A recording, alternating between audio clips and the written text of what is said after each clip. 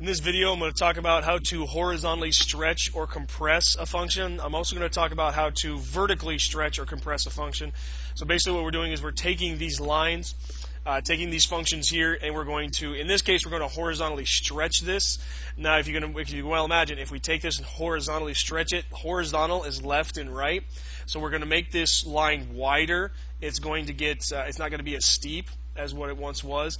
Okay, so that's the general idea of what we're going to do. We're going to horizontally stretch uh, this function by a factor of 3. And we're going to see how that affects the function itself, how it changes the function. Okay, so now the first thing that we're going to do is we're going to uh, find a couple of points on this line, and then we're going to horizontally stretch them, and then uh, we're going to look to see how that affects the equation itself. So we're going to basically rewrite the equation. Okay, so a couple things I need is I need a couple of points. So the y-intercept is a good point.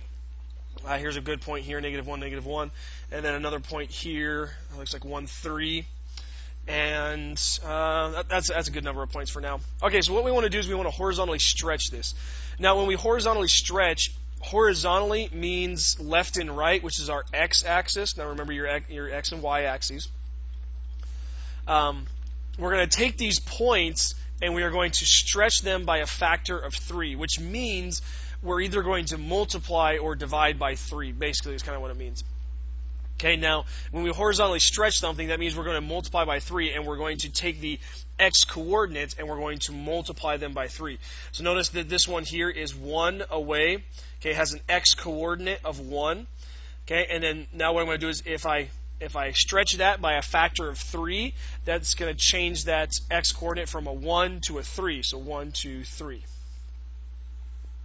Yep, 1, 2, 3, right about there. Okay, so what we have just done is we've taken this point and moved it, basically just moved it from a position of x uh, having an x value of 1 to now it has an x value of 3. Okay, multiplied by a factor of 3 is basically what we did. Okay, um, now for this one here, uh, this one is already uh, it has a uh, an x coordinate of 0. So if I take that x coordinate of 0 times 2, nothing actually happens. So that point is actually just going to stay where it's at.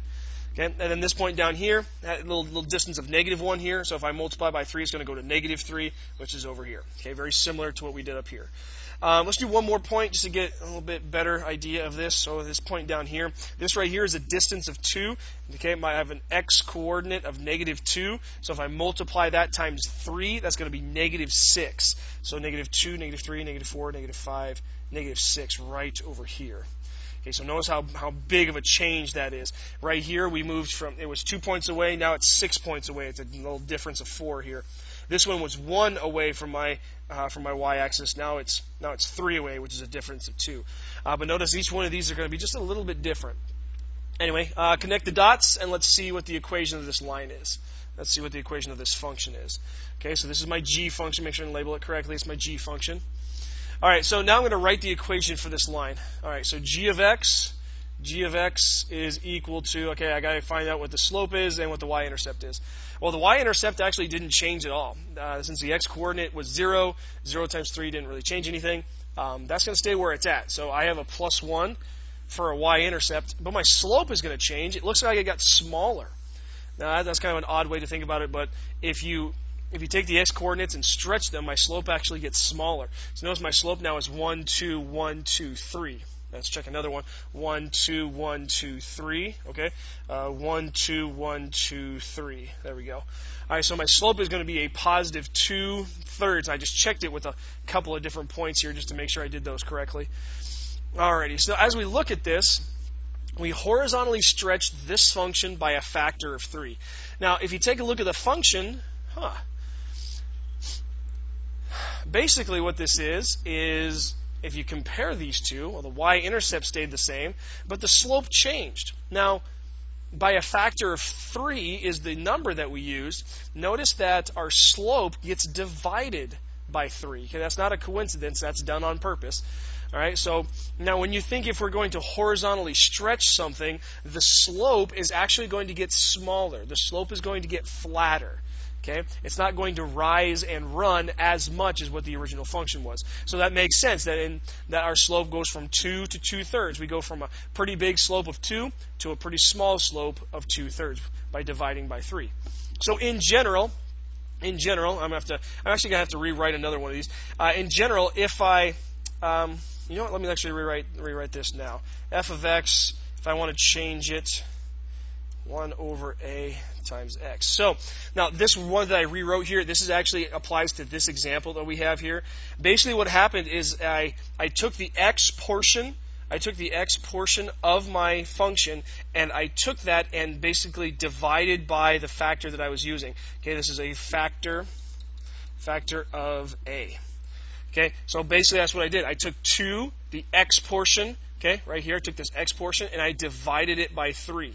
Okay, which got me to 2 thirds. And so that's represented down here. Now this is for a horizontal horizontal stretch. Okay, so a horizontal stretch. Now, the thing is, is you can horizontally stretch or you can actually horizontally compress. Okay, now if we horizontally compress something, it actually gets taller. If we compress this line, it's going to get taller. Okay, now what happens there is you actually take your x coordinates and you would divide by your factor, but in essence, that makes your slope taller. And so you would actually multiply um, your x times this. And so this is the notation that we, do, we, we would use for a horizontal horizontal compression. Okay, horizontal compression. There we go. So yeah, you get, you really got you really got to think about this when, when you're when you're doing your horizontal stretch and compress. So basically, it comes down to um, you're, it's going to be by a factor of three. So you got to think to yourself, am I going to multiply times three or divide by three? And it all really depends on if you're if you're stretching or compressing. So I like to think of it this way: uh, my slope. Do I want to make my slope bigger or smaller? So in this case, we were horizontally stretching this function, horizontally stretching it. I wanted my slope to get smaller. So what I'm going to do is I'm going to divide by 3. I want my slope to get smaller, so I'm going to divide by 3. That's the kind of the thought process you need to have when you're doing this. And that's kind of the simple way of doing that. Okay, that's horizontal stretching and compressing. Let's do real quick the vertically vertical stretching and compressing. Uh, it's actually really very similar to what we just did. Um, but uh, it's, it's a little bit backwards, and I'll show you what I mean here in a minute. Okay, so we're going to do the same thing. We're going to we're going to take some points. So here's a point. Here's a point, and notice we're using the same function, and we're going to vertically vertically stretch this function by a factor of three. Okay, so we're using the same factor, but we're going to vertically stretch this time instead of horizontally stretch. Okay, so let's find a couple more points: negative one, negative one, and this uh, negative two. Uh, what is that? One, two, three, negative three. Okay, negative two, negative three. Okay, now what I'm going to do is I'm going to vertically stretch these by a factor of 3. Now what that means is I'm going to take the y coordinates, the y coordinates, and multiply them by 3. Vertical stretch, vertical goes up and down. Remember, here's your x, here's your y. Vertical goes up and down. So I'm going to take my y coordinates, the ones that go up and down, and I'm going to multiply them by a factor of 3. Okay. Okay. Now this is actually going to be a little bit tough for the points that I have here because I have a right here. This is three. This is a height of three, and I'm going to take that in times by three. Well, three times three is nine, which is all the way up here. It's actually off of my grid, so I can't really plot that point. Okay. Uh, so let's, just move on to the next one. Right here, I have a y coordinate of one. Take one times three, it's going to be three. So my y intercept actually moves up to right there. Uh, this point here, I, it has a y coordinate of negative 1, down here, negative 1. And so take that times 3, it's going to be negative 3. So it's going to be down here. There we go. And now see, my other points that I have, my other points that I have, uh, are going to be too big. Okay, this is a negative 3 for a uh, uh, for my uh, for my y coordinate here. This is a negative 3. If I take that times negative uh, so sorry, take that negative 3 times 3, it's going to get me 9. So it's going to be all the way down here. So I really can't graph it on this grid. Okay, so what I'm going to do, these are my only two points that I have that I could actually draw. draw. So I'm going to use the straightest line as I can to try and to try and draw what this function is going to look like. Not bad if I do say so myself. A little curve right there. But that is what my g function is going to look like. Okay, so that's what a vertical stretch looks like. Everything is going to get taller. Okay, everything's going to get taller. Okay, so now, now let's write the rule for g of x. Let's actually write the function itself. Okay, so I need a slope and a y-intercept. All right, so what I need is a slope. Well, I do have two points. I can find the slope. So 1, 2, 3, 4, 5, 6, 1. Well, got a slope of 6. Okay, and then I have a y-intercept of 1, 2, 3. Got a y-intercept of positive 3. Okay, now as I compare these two functions, notice that, okay, actually, we're, we're vertically stretching by a factor of 3. Notice what happened. 2x became 6x. That's just timesing by 3. 1 became 3. That's just timesing by 3. So notice what we did. If we are going to, um, we took our function, we changed it by taking the factor and multiplying it times the entire function. This is what we call a vertical, vertical stretch. Okay, and this is by a factor, factor of a.